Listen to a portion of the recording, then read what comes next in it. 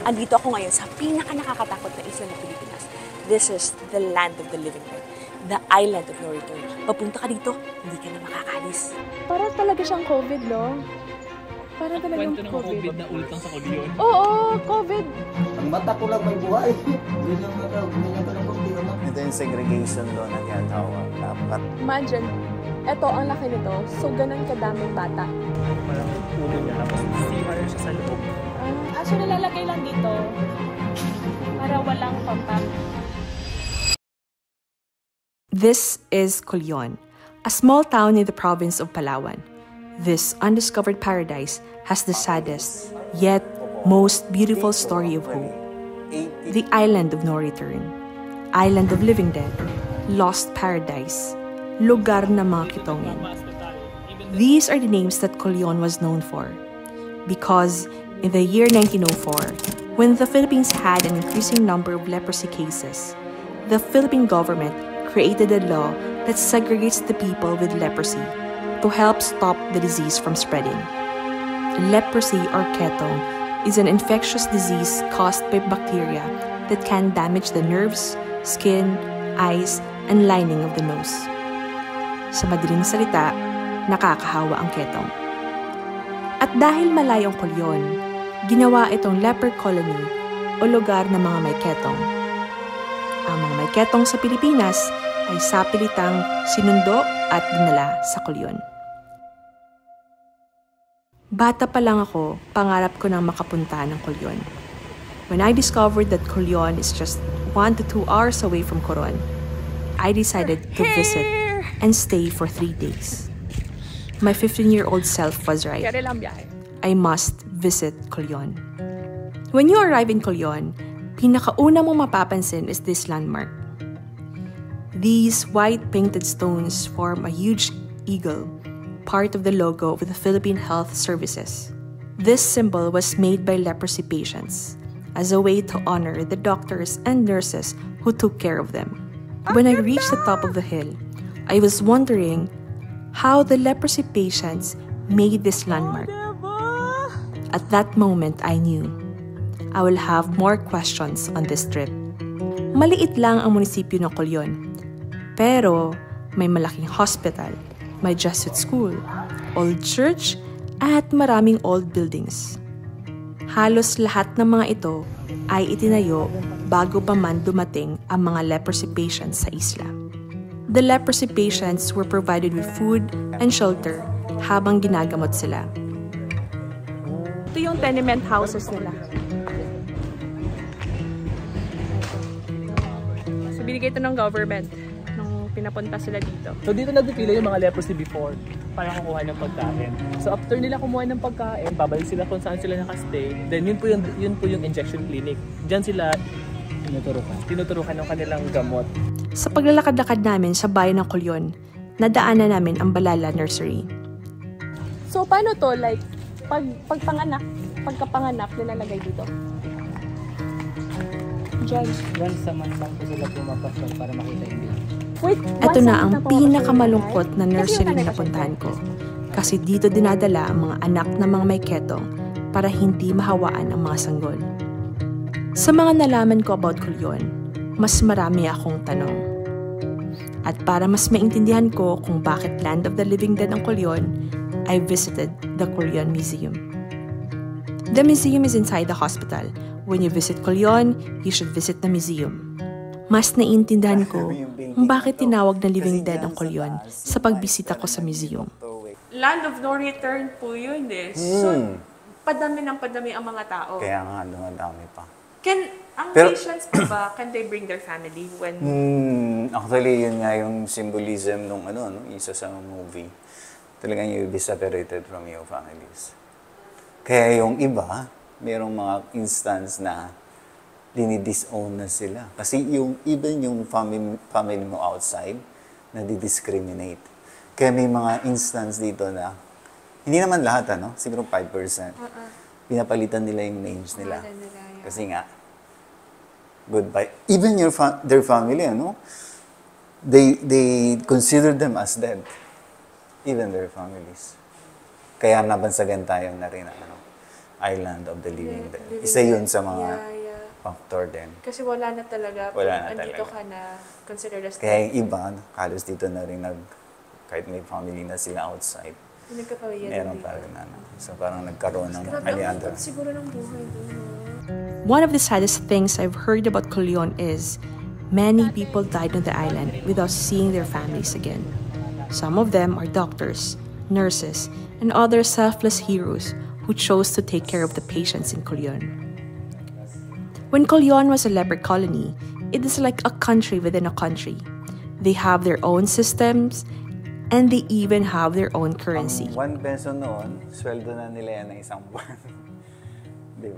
ba? Sweldo na isang buwan ngayon, di mo na, ano, magbibili mo sa Sentavo noon, makakabili ka ng... marami ka na mabibili. Isang sentavo noon. 0.5 cent, wala silang 1 cent.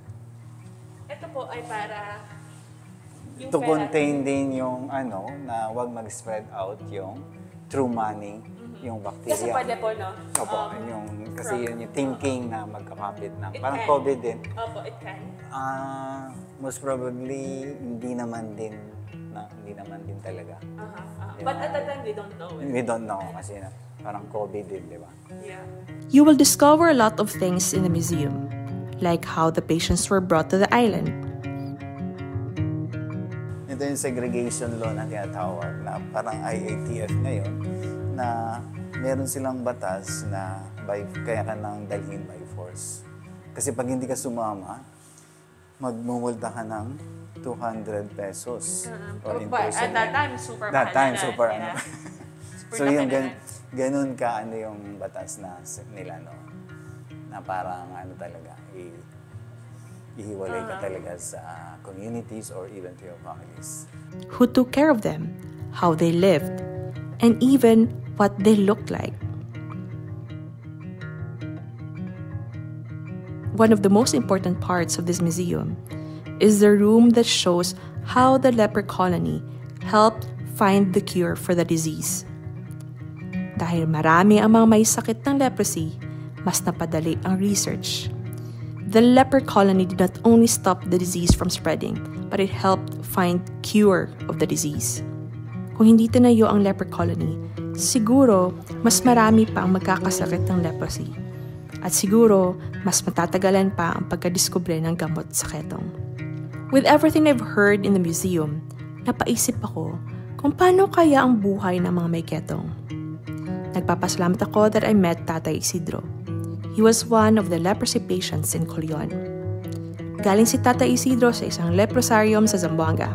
Lumipat siya sa Colion in the year 1990s. Oh, yun nakuha ko sa, sa, kuha ko, sangla. Tapos yung mga, kuha ko, yung mga kapatid ko, di, ma, di man alam nga sangla. Pero nandi, nandiri talaga sila, kaya maragadugan sila eh. Oo, doon na, nagrabe na ko.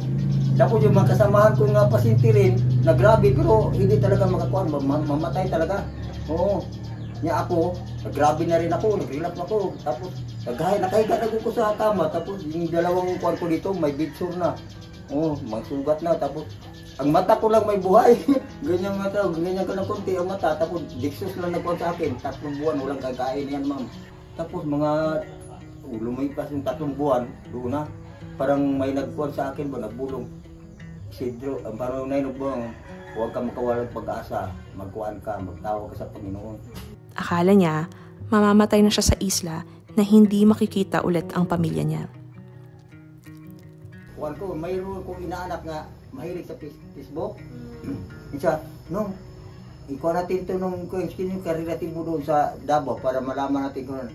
Ikaw si Fermin Bulagaw. Yun ang nabanggit ko, yun, yun, yun pala na ang buhay nila na iwan. Pagkuhan doon, tawag ko na, Facebook. Sa, tingnan mo nung, kamukha mo. Sabi niya, kamukha ko. Tingnan, hala, ang kuya ko. Tuwa-tuwa ako eh. Oo, usap pa kami. Ko, kuya, kumusta naman sila dyan? Sila ate, sila kuwan. Ay, wala na. Ako lang naiwan. Kaya lungkot ako. Akala ko, wala ka na rin. Patay ka na. Padala kita pira para makita sa personal talaga. Kaya pag umalis ako doon, binata ko yung kuya ko, tapos ako binatilyo. Ako pa na nga. Pagpa na eh. Tapos, yun, pagdating pagdating niyo, kuya ko baka ito, pero ang lakad niya, kuhan ko, di nagbago. Kuya ko talaga to, pero bakit matanda naman? Matanda parang. Ay, 13 years? 30 years na eh. Pagbangkit niya, pagbangkit niya sa pangalan ko yung Isidro, ikaw ba yan? Ikaw, ay Maroy, ikaw pala, ay, ka pa kami, iyak. My conversation with Tata Isidro made me fully appreciate Colyon. Colyon was an isolated place for people who are isolated from society. Kinatatakutan at pinandidirihan ng Colyon at ang mga tao sa Colyon. Nakaka-experience ka ng ano, ma-discriminate. Yung pinag... Yes pinag- po, meron po. Pag sinabi nilang taga-kulyon, ay, pasyent, ano yan, pasyente yan, nakakahawag, gan- ginaganon-ganon nila kami. So, ang ginagawa namin, pag ano talaga, hindi namin binabanggit yung kulyon. Sabi namin, from Coron kami. Para sa maraming tao, ang Colyon ay isang lugar ng mga may ketong. After hearing stories during my stay in Colyon, para sa akin, Colyon is a safe place and refuge for people who are suffering, people who have lost hope, and are outcast of society. Marami nang nagbago sa Colyon. It was already declared leprosy-free in 2006. Ang mga dating pasyente ng isla like Tata Isidro ay magaling na at hindi na nakakahawa. The locals in Colyon can leave the island freely. And anyone can visit Colyon. Pwede ka nang bumisita dito na hindi matatakot na mahawaan ng ketong. When you visit Colyon, hindi lang heritage places and museum ang pwede mong mapupuntahan. They also have white sand beaches, marine sanctuaries, and many undiscovered places. What was once named the land of the living dead is now an island of hope. Hindi ko po alam kung ano mararamdaman ko sa lahat ng discover ko dito sa Colyon. But one thing I am so sure of, the world needs to know about this island. Imbitahan namin kayo na pumunta dito sa aming lugar, na napakagandang lugar, na ito ang last frontier ng Palawan. At marami po kayo makikita mga magagandang tanawin na kung saan talagang maiinggan nyo kayong bumalik-balik. Panahon nga magkapunta kay Pulyo nito, Pulyo Sanitario, kaya ito, maganda na talaga dito sa Pulyo. May daming mga tanawin dito, mga isla, mga kwan, mga beach ito. This beautiful paradise will make you see the beauty of life. It will inspire you to hold on to hope, and it will teach you to become a better human being. Kulyon deserves to be on your travel bucket list. Kaya tara na sa Kulyon! Bye!